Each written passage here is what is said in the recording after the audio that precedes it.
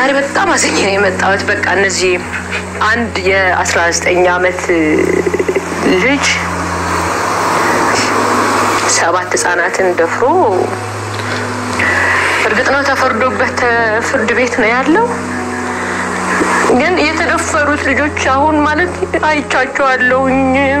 ልዩ አፎቹ ሁሉ ቆስለዋል። ፈንገስ ሆኖበት ማለት ነው። በአፋቸው መነብሰብ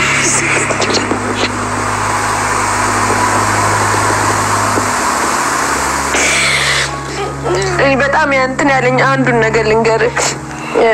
ሁለቱ በተለይ በጣም best friend ናቸው ትንንሾቹ እና ለካ ለወላጅ ከተናገራችሁ እንገላችኋለን፣ እዚህ ጉድጓድ ውስጥ እንከታችኋለን ሲላቸውም ስለነበር አልተናገሩም። እና ለካ ፊንጢጣው መግሏል፣ በስብሶ እንትን ብሏል ልጁና ተልከው ሲሄዱ እንትን አገኛቸውና ብሎ አስገብቶ እንደገና አሁንም ሊገናኛቸው ሲል የአንደኛው ጓደኛው ትንሽ ደህና ነው ፊንጢጣው መሰለኝና በማርያም በመቤቴ እሱ ቆስሎበታል። ተወው የእሱ ፎንታኔን እሱ ታም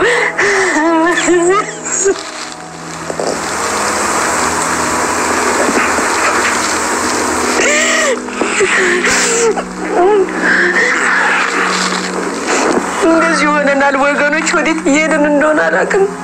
ይህ ታሪክ በኢትዮጵያ ውስጥ ስንሰማ ያሳፍራል።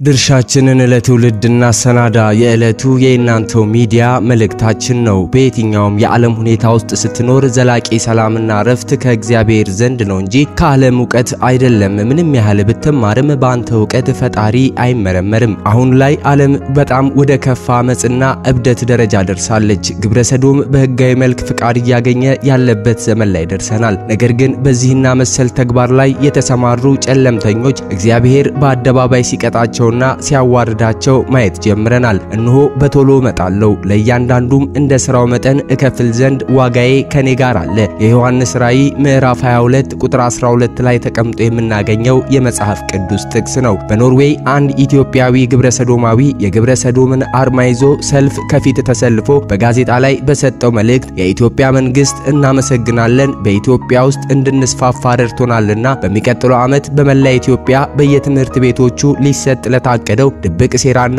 የግብረ ሰዶማውያን እቅድ ከወዲሁ ዝግጅት ላይ መሆናቸውን ጭምር አፈትልኮ የወጣ መረጃ እጃችን ላይ ገብቷል። 17 የአማራ ህፃናት ሴቶች ታፍነው የተወሰዱበት ሚስጥር፣ የጠቅላይ ሚኒስትሩ የሰላም ኖቤል ሽልማት ሚስጥር፣ በኢትዮጵያ በፕሮቴስታንት ቤተ እምነት ጓዳ ግብረ ሰዶም እየተስፋፋ መሆኑ፣ የ13 ዓመት ህፃን የደፈሩ ፍርድ ቤት የሞት ቅጣት ተበይኖባቸው ሞት ይፍታ ፍርድን በጥይት ስለተቀበላቸው፣ በአሜሪካ አንዲት እናት ክርስቶስ ወደ ምድር በቶሎ ለፍርድ እንዲመጣ በሚል ሁለት ልጆቿን ስለ መግደሏና ጠቅላይ ሚኒስትር አብይ አህመድ ስለ ግብረ ሰዶም ያላቸው አቋም ምን እንደሚመስል በግልጽ ያሳወቁበትና ሌሎች የተዳፈኑ እውነቶችን በዛሬው የመረጃ ሰዓታችን ይዘናቸዋል። አብሮነታችሁን ከኛ ጋር በማድረግ በትንታኔ የምታደምጧቸው ይሆናል። ሰላምና ጤና በያላችሁበት የዓለም ስፍራ ሁሉ የበዛ ይሆን ዘንድ የምንመኝላችሁ ውድ የእናንተው ሚዲያ YouTube channel ኣችን ቤተሰቦች እነሆ ሁሌም እንደምንለው እንደ አማኝ ወንጌላዊ እንደ ዜጋ ኢትዮጵያዊ እንደ ሰው ልጅም ዓለም አቀፋዊ የሆኑና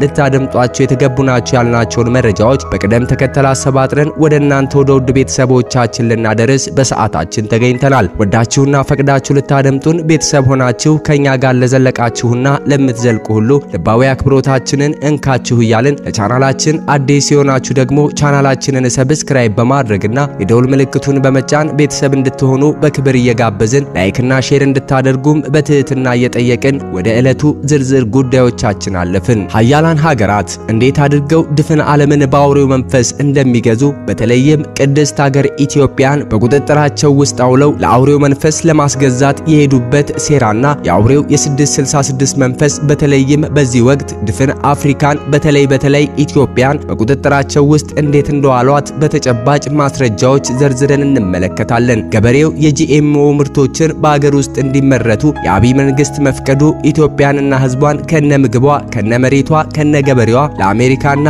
ለቢል ጌትስ ማስረከቡን የኢትዮጵያ ሕዝብ የሚያውቀው የአደባባይ ሚስጥር ነው። ይህ ስምምነት ተግባራዊ ከሆነ በኋላ ወደፊት ለኢትዮጵያውያን ምግባቸውን የሚሰጣቸው በቢል ጌትስ ድርጅት የተመረዘ ምግብ ብቻ ነው። ምግቡ በኮምፒውተር ስለሚታዘዝ artificial ምግብ ከመሆኑም በተጨማሪ በመርፌ ያልተወጋ ምግብ መብላት ወደፊት የተከለከለ ይሆናል። ለዚህ ምስክር የቢል ጌትስ ምግብ አምራች company ከአንድ ወር ቀድሞ በኮምፒውተር በመታገዝ ሰው ሰራሽ ስጋ ለደንበኞቹ ማቅረቡ ይታወሳል። አቮካዶን ጨምሮ በርካታ የምግብ አይነቶች በ artificial ነት እየተለወጡ ለምግብነትም እየቀረቡ ሲሆን አብይ ተስማምቶ በፈረመውና ሀገራችንን በሸጠበት በዚህ ስምምነት መሰረት ወደፊት የሀገራችን ባላገር ሰብል ማምረት አይችልም። ትላንት የገበሬው መሬት ያለማዳበሪያ የኢትዮጵያን ሕዝብ መመገቡ አይረሳም። ዛሬ ያ የገበሬው መሬት ያለማዳበሪያ እህል አላፈራ ብሎ ገበሬው የማዳበሪያ ያለህ ሲል እየጮኸም እንመለከተዋለን። ሌላው ደግሞ ስለ ግብረ ሰዶማውያን ነው። በአብይ ዘመን የእርኩሰት ሰንደቅ ዓላማቸው በይፋ በየኤምባሲያቸው እንዲውለበለብ ተደርጓል። ይህ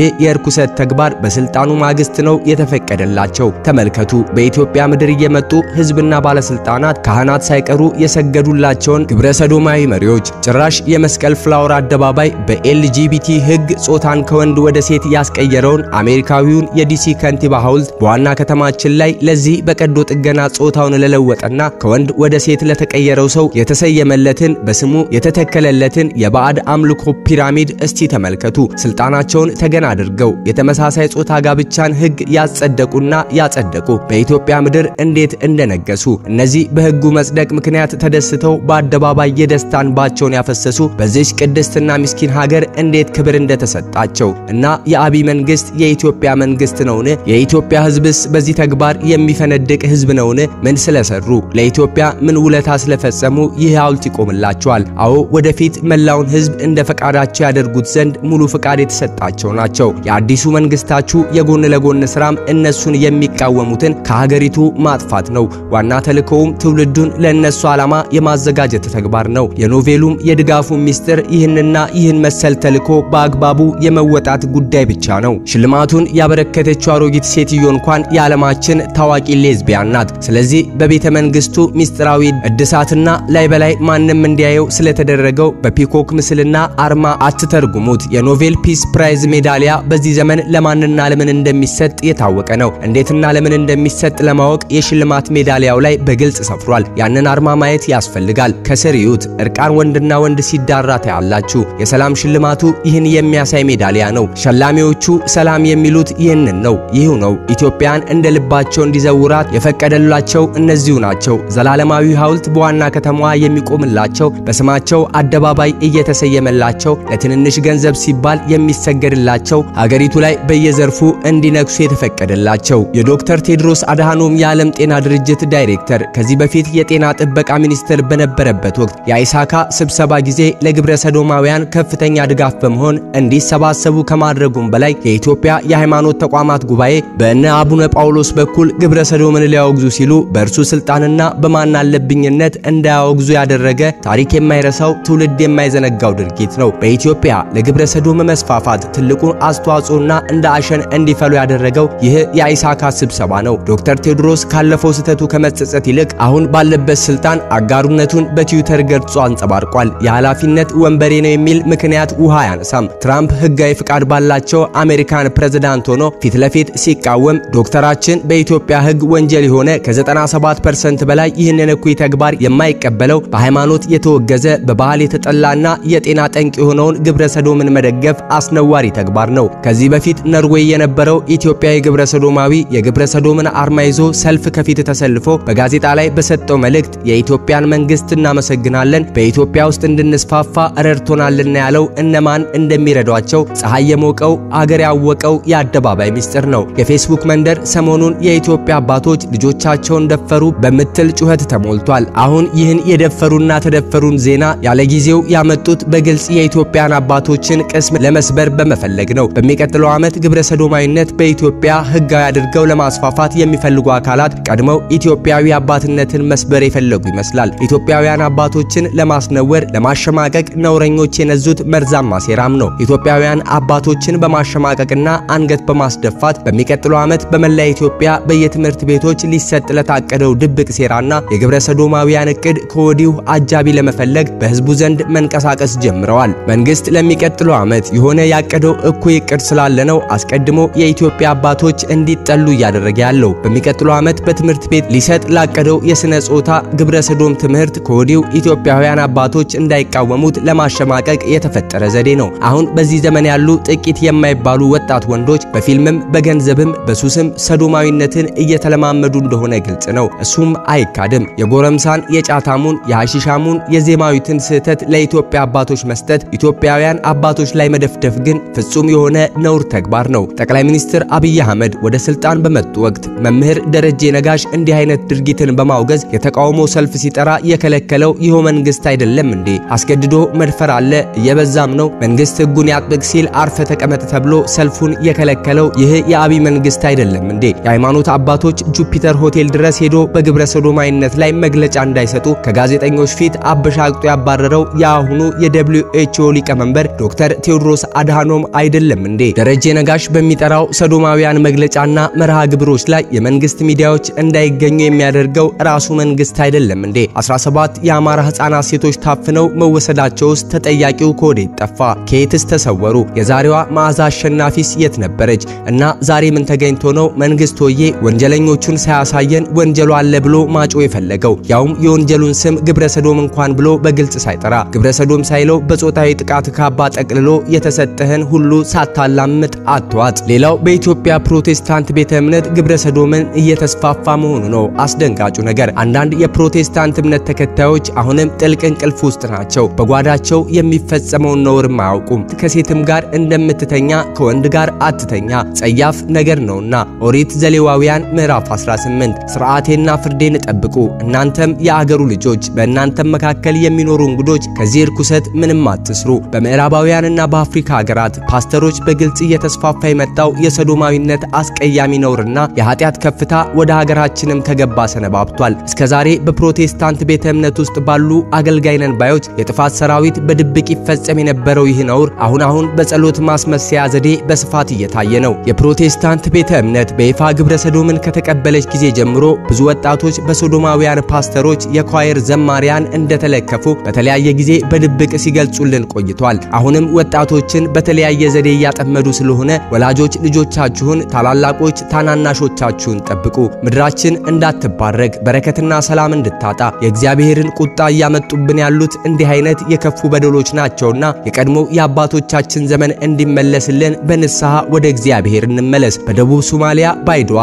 የ13 ዓመት ሕፃንን የደፈሩ በአገሪቱ ፍርድ ቤት የሞት ቅጣት ተበይኖባቸው ሞት ይፍታ ፍርድን በጥይት ተቀብለዋል። source of affection politics ሴትም ወንድም ሕፃናትን ለሚደፍሩ እኛም አገር ፍርዱ ተፈጻሚ ቢሆን መልካም ነው። አይነ ልቦናችንን ገልጠን መመልከትና ማስተዋል እንችል ዘንድ እግዚአብሔር ይርዳን ስንል ወደ ቀጣዩ መረጃችን ተሻገርን። በአሜሪካ አንዲት እናት ክርስቶስ ወደ ምድር በቶሎ ለፍርድ እንዲመጣ በሚል ሁለት ልጆቿን ገድላለች። በዩናይትድ ስቴትስ የምትኖረው አንዲት እናት በ apocalyptic ሃይማኖታዊ እምነቷ መሰረት ሁለት ልጆቿን በመግደልና የባሏን የቀድሞ ሚስት ለመግደል በማሴር የዕድሜ ልክ እስራት ተፈርዶባታል። ሎሪ ቫሎ የተባለችው ይህችው ሴት በግንቦት ወር የ16 ዓመት ሴት ልጇን ታይሊ ራያንና የ7 ዓመት በማደጎ የወሰደችውን ወንድ ልጇን ኢያሱ ጄጄ ቫሎን በመግደል ጥፋተኛ ተብላለች። Sins of Our Mother በሚል የዚህ ሴት የህይወት ታሪክ በኔትፍሊክስ እውነተኛ የወንጀል ዘጋቢ ፊልም የቀረበ ሲሆን የኢየሱስ ክርስቶስን ዳግም ምጽአት እንዲሆን ልጆቿን መግደሏ ከአምላክ የተሰጠ ራእይ መሆኑን ትናገራለች።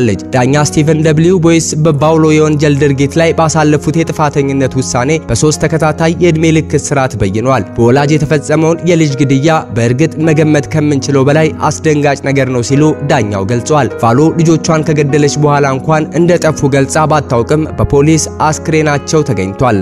ውድ የእናንተው ሚዲያ YouTube ቻናላችን ቤተሰቦች እነሆ በዕለቱ የተሰሙ ትኩስ አዳዲስና ወቅታዊ ናቸው ያልናቸውን መረጃዎች እንድትነቁበት ነቅታችሁም ለሌሎች አድርሳችሁ ሌሎች እንዲለወጡበት ታደርጉ ዘንድ ባደመጣችሁት መልኩ ወደ እናንተ አድርሰናል። ሁሌም ትኩስ አዳዲስና ወቅታዊ የሆኑ መንፈሳዊና ዓለማዊ መረጃዎችን ለማግኘትና ለመከታተል የእናንተው ሚዲያ YouTube ቻናላችንን subscribe በማድረግ ቤተሰብ በመሆን ልታደምጡን ልትከታተሉን ትችላላችሁ። እንዲሁም ደግሞ መረጃዎቻችን ለሌሎች ወዳጆቻችሁ ለሌሎች እንዲደርሱ share ማድረጋችሁን አትርሱ። ሀሳብ አስተያየታችሁ ያበረታናልና ሀሳብ አስተያየታችሁንም የ comment መስጫ ሳጥኑ ላይ አስቀምጡልን እያልን የሰዓቱን የመረጃ ሰዓታችንን በዚሁ አበቃን። በሌሎች ትኩስ አዳዲስና ወቅታዊ የሆኑ ዓለማዊና መንፈሳዊ መረጃዎች በድጋሚ እስክንገናኝ ድረስ ሰላማችሁ በያላችሁበት የዓለም ጥግ ሁሉ የበዛ ይሆን ዘንድ እየተመኘን ተሰነባበትን። ሰላም ለሀገራችን፣ ሰላም ለሕዝቦቿ ይሁን። ፈጣሪ እግዚአብሔር ኢትዮጵያንና ሕዝቧን አብዝቶ ይባርክ።